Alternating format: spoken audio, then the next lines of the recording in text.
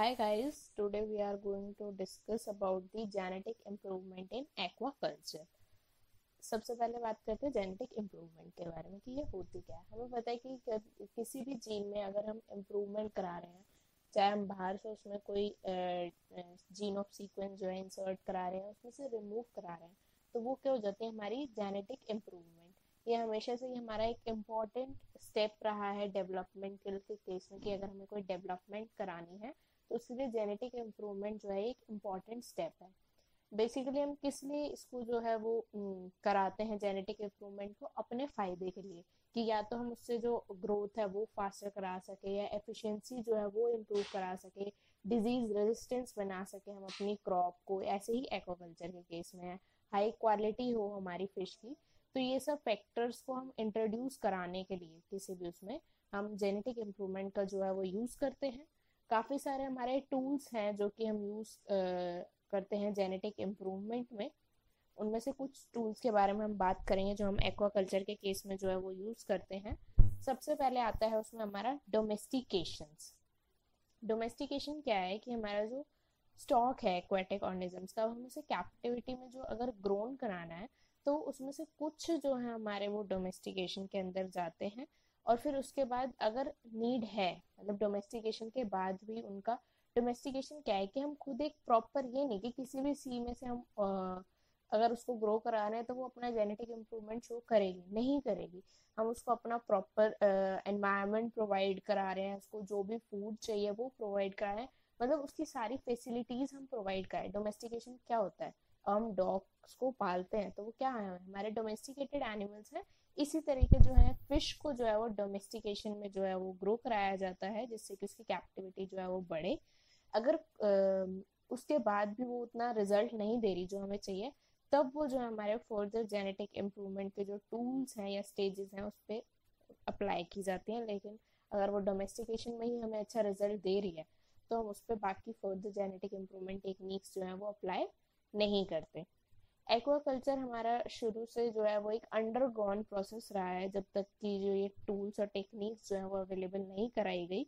जैसे ही ये डोमेस्टिकेशन और बाकी जेनेटिक इम्प्रूवमेंट टेक्निक्स आई तो जो एक्वाकल्चर है, उसका जो रेट है वो काफ़ी ज़्यादा अच्छा हो गया। मतलब वो कल्चर काफ़ी डिमांड में हो गया।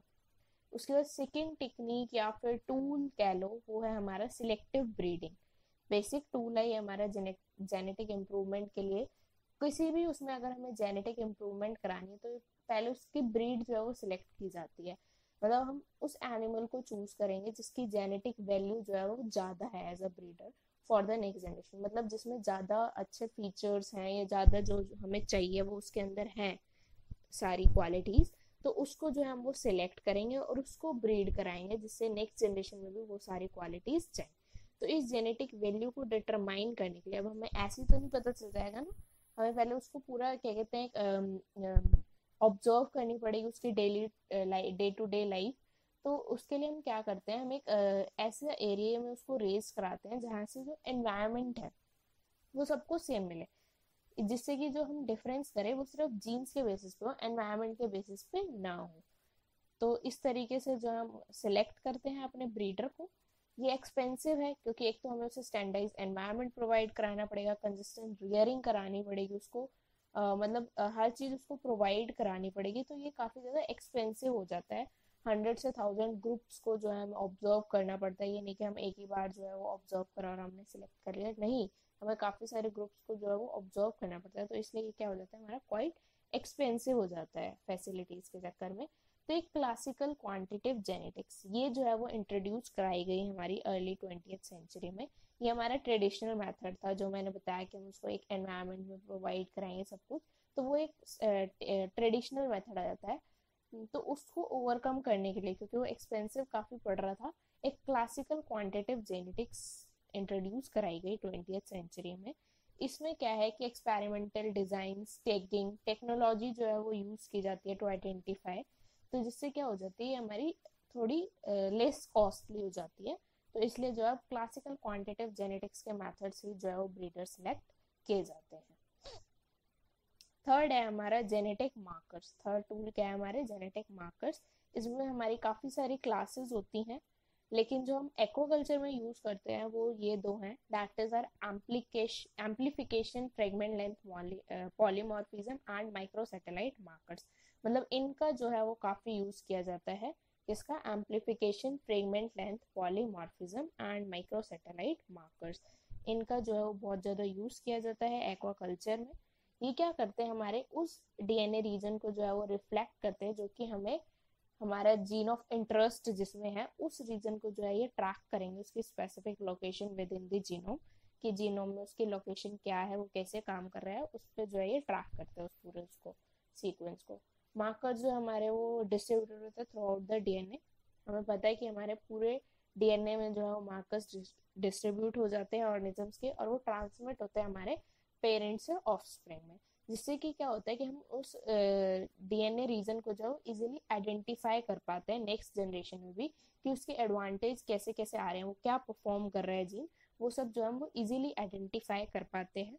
तो ये जो एप्लीकेशन है सिलेक्टिव ब्रीडिंग की इसे हम बोल देते हैं मार्कर असिस्टेड सिलेक्शन ताकि हमें फिर दोबारा जो है वो आ, से पूरा सिलेक्टिव ब्रीडिंग जो प्रोसेस है चाहे ट्रेडिशनल कह लो या क्लासिकल क्वांटिटिव कह लो वो परफॉर्म ना करना पड़े। मार्कर्स होंगे तो हम इजीली आइडेंटिफाई कर लेंगे हाँ ये जो वही है, जो अच्छी ब्रीड का था तो हम उसको दोबारा जो है, उसी के आगे जनरेशन को जो है ब्रीडिंग कराते जाएँगे। तो इसलिए जो है, ये हमारा डीएनए मार्क जेनेटिक मार्कर जो है, वो इंपॉर्टेंट रोल प्ले करते हैं। नेक्स्ट आ जाता है हमारा फोर्थ जो टूल है that is our genetic engineering मतलब कि जीन्स का इंजीनियर करना, कि उनको चेंज करना। वही है क्रोमोजोम सेट मैनिपुलेशन को ये इंक्लूड करता है, और ट्रांसजेनेसिस को। मतलब कि या तो क्रोमोजोम्स में चेंज लाना या फिर ट्रांसजेनेसिस जीन्स को ही जो है वो चेंज एक ऑर्गेनिज्म से दूसरे ऑर्गेनिज्म में वो करना। तो क्रोमोजोम सेट मैनिपुलेशन हमारी ग्रुप ऑफ़ टेक्निक्स होती है, जिसमें हम क्रोमोजोम जो है, या सेट ऑफ़ क्रोमोजोम जो है ऑर्गेनिजम्स का वो मॉडिफाई कराते हैं। ऑयस्टर्स में इसका यूज़ किया गया था, जो कि हमारा क्वालिटी जो है वो लॉस कर देता है। स्पॉनिंग सीज़न जब आता है उनका रिप्रोडक्टिव सीज़न तो उस टाइम पे क्या होता है, वो अपनी क्वालिटी लूज कर देता है तो उसमें जो है वो यूज़ किया गया, जिससे कि उसकी क्वालिटी जो है वो लूज ना हो स्पॉनिंग के टाइम पे भी। ट्रांसजेनेसिस क्या है, हमारी वो टेक्निक्स होती हैं, जिसमें हम एक जीन को या फिर काफ़ी सारे जीन्स को जो है बायोटेक्नोलॉजिकल मेथड से जो है वो चेंज करते हैं। ब्रीडिंग से नहीं बायोटेक्नोलॉजिकल मेथड से। मतलब कि ब्रीडिंग तो ये हो गया कि हम उसमें सिर्फ़ एक जो अच्छा होगा सिर्फ़ उसे ही जो है वो सिलेक्ट कर सकते हैं। लेकिन इसमें क्या होगा कि हमारे चाहे उनमें को क्वालिटी नहीं है, लेकिन हम जो है वो जीन उसमें इंसर्ट करा देंगे तो उनकी भी जनरेशन क्या है, वो आगे अच्छी ब्रीड की आएगी। तो इस तरीके से जो है ट्रांसजेनेसिस हम कराते हैं।